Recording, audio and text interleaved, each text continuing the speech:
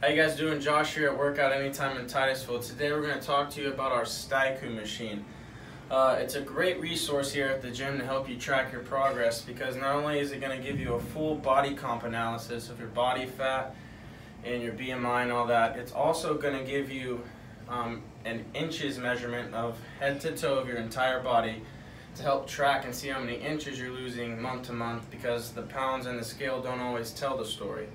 So this is going to give you a really good, um, accurate representation of if your program's working or not, as well as giving you the caloric expenditure, um, your basic metabolic rate, and a great caloric intake number for you. That way you know your program's working and you get on the right track for results.